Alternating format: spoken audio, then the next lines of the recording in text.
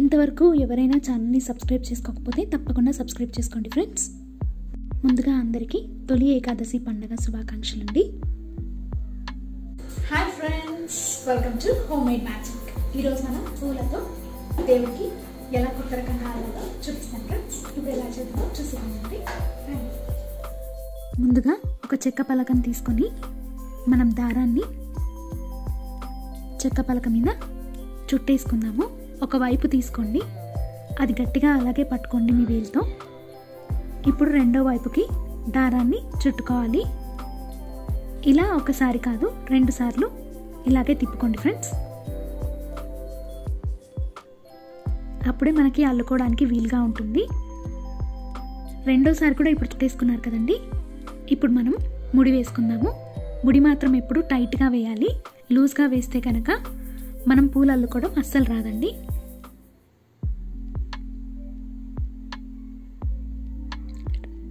నేను రెండు ముళ్ళు వేశాను. చూడండి ఫ్రెండ్స్. తర్వాత ఎక్స్ట్రాగా దారం ఉంటుంది కదండి. ఆ దారాన్ని మనం కట్ చేసుకుందాం. ఒకవైపు మాత్రమే కట్ చేసుకోవాలండి. రెండో వైపు అలాగే ఉంచండి. నేను చూపిస్తాను మీకు ఏం చేయాలో. ఇప్పుడు రెండో వైపును కూడా ఒకసారి కొలుచుకోండి. పూలు ఎంతవరకు అల్లాలనుకుంటే అంతవరకు దారం ఉంచుకొని మిగతాది కట్ చేసుకోవాలండి. ఇంతే. ఇప్పుడు ముందుగా ఒకసారి దారంని మనం ముడేసుకుందామండి. నేను చూపించే విధంగా ముడేసుకోండి. మనం రెండు సార్లు దారాన్ని చుట్టేసుకున్నాం కదా ఆ రెండు దారాలలో నుంచి మనకి దారం అనేది బయటికి రావాలి. ఇలా ముడి వేసుకున్న తర్వాత ఒక చామంతి పువ్వు తీసుకొని కాడను తీసేయాలండి.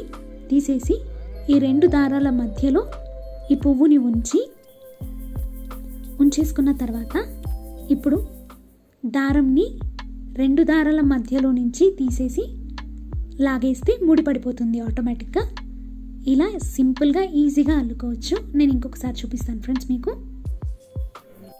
చూస్తున్నారు కదా ముడి వేయడం ఎంత సింపుల్గా ఉందో. ఎవరికైనా దండ అల్లడం రాకపోతే ఇలా ట్రై చేయొచ్చు ఫ్రెండ్స్ చాలా సింపుల్ చిన్న పిల్లల దగ్గర నుంచి పెద్దవాళ్ళ వరకు ఎవరైనా అల్లేయచ్చు ఇలాగైతే. చాలా దగ్గర నుంచి నేను మీకు ఒకసారి చూపిస్తాను. ఇంకొకసారి చూడండి ఫ్రెండ్స్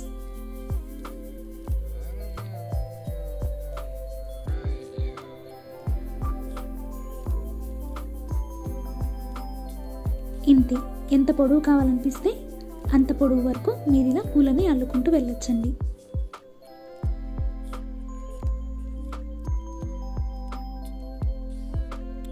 మనం ఒక్క చెండు పువ్వు లేదంటే చామంతి పువ్వు దేవుడికి పెట్టే బదులు ఇలా చేసి పెట్టామనుకోండి చూడడానికి కూడా చాలా అందంగా ఉంటుందండి. ఇలాగే మొత్తం మనం అల్లేసుకుందాం ఫ్రెండ్స్.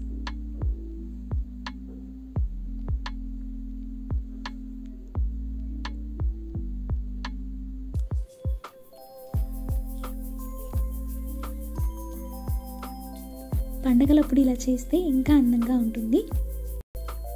ఈరోజు ఏకాదశి కదా అందుకే నేను ఇలా చేసి దేవుడికి పెడుతున్నానండి.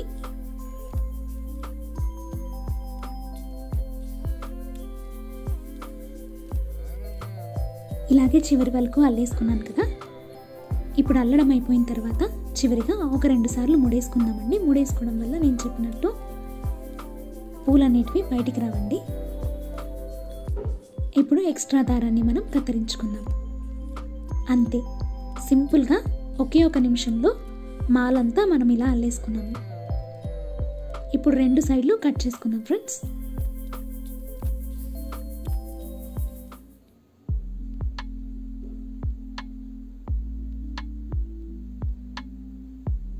చూస్తున్నారు కదా ఫ్రెండ్స్? రెండు సైడ్లు ఎక్స్ట్రా దారం ఉంది. ఈ ఎక్స్ట్రా దారాన్ని నేను కట్ చేస్తున్నానండి. మీ పటానికి కనుక సీల ఉంటే ఆ సీలకు కూడా ఈ ఎక్స్ట్రా దారంతో మనం తగిలిచ్చేసుకోవచ్చు నా దానికి లేదు కాబట్టి నేను కట్ చేస్తున్నానండి. పూలకు మధ్యలో నేను పసుపు కుంకుమతో అలంకరిస్తున్నాను ఫ్రెండ్స్ మీకు నచ్చితే మీరు కూడా ఇలాగే ట్రై చేయొచ్చండి. చాలా అందంగా ఉంటుంది ఇలా చేస్తే. మొత్తం దండంతా ఇలాగే అలంకరించుకుందాము.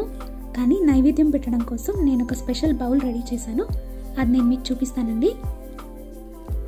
చూసారు కదా? ఇది స్పెషల్ ఐస్ బౌల్ ఫ్రెండ్స్. దేవుడి నైవేద్యం కోసం.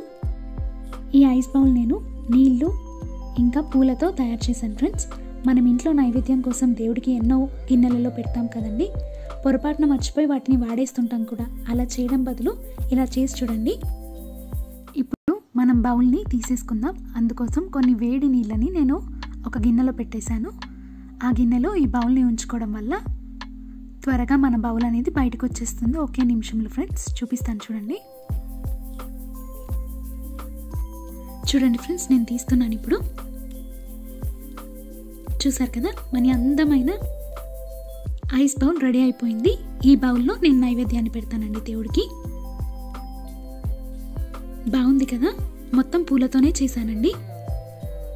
ఇందాక మనం తయారు చేసి పెట్టుకున్న మాల ఇంకా మన నైవేద్యం రెండు దేవుడికి సమర్పించుకున్నాం కదా ఫ్రెండ్స్? నచ్చిందా మరి ఈరోజు వీడియో మీకు కూడా? మీరు కూడా ట్రై చేస్తుంటే తప్పకుండా నాకు కామెంట్స్లో తెలియజేయండి. ఈ బౌల్ ఎలా తయారు చేయాలో తెలుసుకోవాలనుకుంటే మాత్రం నేను మీకు తర్వాత క్లిప్స్ చూపిస్తాను. చూడండి ఫ్రెండ్స్. ఐస్ బౌల్ని తయారు చేసుకునే విధానం ఫ్రెండ్స్. ముందుగా ఒక గ్లాస్ బౌల్ని తీసుకోండి. దీనికన్నా కొంచెం చిన్న సైజు ఉంటుంది కదా? అది ఇంకొక బౌల్ లాగా తీసుకోండి. చూడండి ఇది దీనికి నెక్స్ట్ సైజ్ అండి. చిన్న సైజు తర్వాత పెద్ద సైజు ఇలా రెండు బౌల్స్ తీసుకుందాం మనము.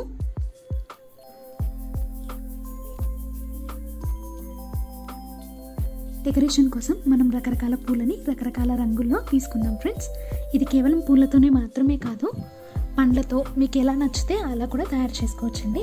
దేవుడికైతే మనం పూలని ప్రధానంగా వాడతాం కదా కాబట్టి నేను పూలను వాడి చూపిస్తున్నాను ఫ్రెండ్స్ మీకు ఇష్టమైన ఏ ఫ్లవర్స్ ఉంటే ఆ ఫ్లవర్స్ని ఇలా డెకరేట్ చేసుకోండి. బేస్ కోసం నేను నా దగ్గర ఉన్న రంగురంగు పూలని ఇలా వేసుకున్నానండి. ఇప్పుడు అది చిన్న బౌల్ చక్కగా నిలబడుతుంది వాటి మీద.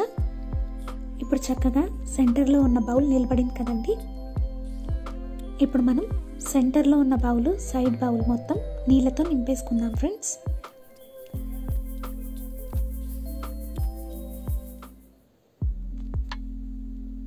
చూసారు కదండి? మధ్య బౌల్లో కూడా నీళ్ళు నింపాను. తర్వాత పైన ఉన్న పెద్ద బౌల్లో కూడా నీళ్ళు నింపేసుకున్నాను. తర్వాత మనం తీసుకున్న పూల రెక్కలు ఉంటాయి కదా ఆ రెక్కలన్నీ చుట్టూరా ఫిల్ చేసుకోండి. మీకు ఏ రకం పూలు నచ్చితే ఆ పూలంతా మనం చక్కగా నింపేసుకోవచ్చు ఫ్రెండ్స్. ఈ బౌల్ ఒకే ఒక కారణంతో నేను తయారు చేస్తున్నాను.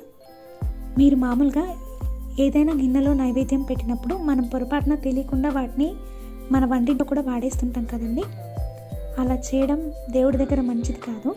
అందుకే ఇలాంటిది అనుకోండి మనం దేవుడికి నైవేద్యం ఎంతవరకు పెట్టగలమో అంతసేపు పెట్టి తర్వాత అది ఎలాగో నీళ్ళే కాబట్టి కరిగిపోతుందండి. అంతేకాకుండా దేవుడి కోసం మాత్రమే కాదు మన ఇంటికి ఎవరైనా స్పెషల్ గెస్ట్లు వస్తున్నా కూడా ఇలాంటిది మీరు తయారు చేసి అందులో ఏదైనా డెజర్ట్ కానీ ఐస్ క్రీమ్ కానీ ఏదైనా ఉంచి వాళ్ళకి ఇస్తే వాళ్ళు చాలా హ్యాపీగా ఫీల్ అవుతుండ్రు ఫీల్ అవుతారు కదండి.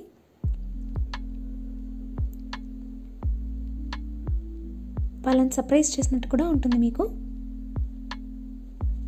చూసారు కదా ఫ్రెండ్స్ ఇప్పుడు అన్ని పూలని తీసుకొని నేను అన్ని రెక్కల్ని ఇలా డెకరేట్ చేసుకున్నానండి. ఇంకా కొంచెం మనం కలర్ కావాలనుకుంటే ఇందులో ఏదైనా ఆకులను కూడా మీరు కలుపుకోవచ్చు. నేనైతే కొత్తిమీరని కలుపుకున్నాను ఫ్రెండ్స్ ఇది కేవలం రంగు కోసం మాత్రమే నేను చేశానండి. మీకు నచ్చితే మీరు కలుపుకోవచ్చు లేదంటే ఇలాగే వదిలేసుకోవచ్చు కూడా. ఇందులో మనం రకరకాల పండ్లను కూడా యాడ్ చేసుకోవచ్చు ఫ్రెండ్స్. మన బౌల్ రెడీ అయిపోయింది కదా ఇప్పుడు వీటిని మనం ఫ్రిడ్జ్లో పెట్టేద్దామండి. ఒక రెండు నుంచి మూడు గంటల పాటు ఇలా ఫ్రిడ్జ్లో పెట్టేసుకుందాం ఫ్రెండ్స్. మూడు గంటల తర్వాత చూస్తున్నారు కదా మీరు ఎంత చక్కటి ఐస్ బౌల్ రెడీ అయిపోయిందో ఫ్రెండ్స్. చూస్తున్నారు కదా ఎంత కలర్ఫుల్గా ఎంత అందంగా ఉందో ఈ ఐస్ బౌల్. మీరు కనుక ట్రై చేస్తే నాకు కామెంట్ చేయడం మాత్రం తప్పకుండా మర్చిపోవద్దు ఫ్రెండ్స్. ఇలాంటి మరిన్ని చక్కటి వీడియోస్ కోసం తప్పకుండా మా ఛానల్కి సబ్స్క్రైబ్ చేయండి. నోటిఫికేషన్స్ కోసం పక్కనున్న బెల్ ఐకాన్ని క్లిక్ చేయడం మాత్రం మర్చిపో